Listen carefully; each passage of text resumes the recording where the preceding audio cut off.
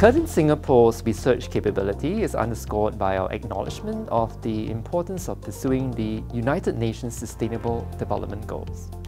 We conduct research aimed at helping business and society to achieve these goals through innovative research outcomes. How do we do it? Through our main capabilities such as the future of work, health and well-being, gender inequality, responsible leadership, responsible consumption and the circular economy, as well as in corporate governance. We have a research hub for PhD students and researchers to get involved in collaborative research as well as multidisciplinary research. A clinical lab is available for research in the nursing and allied health disciplines. We also have a computer lab which provides software that all our researchers can use for their data analysis for their research.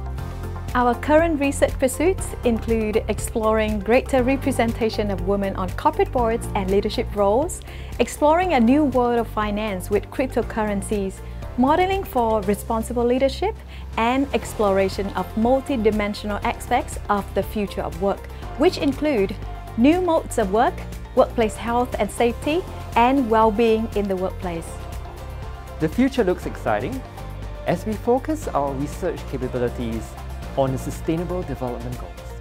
Our researchers look forward to developing research to support these goals, which are of industry and societal relevance for Singapore and the greater ASEAN region to create a better future for all.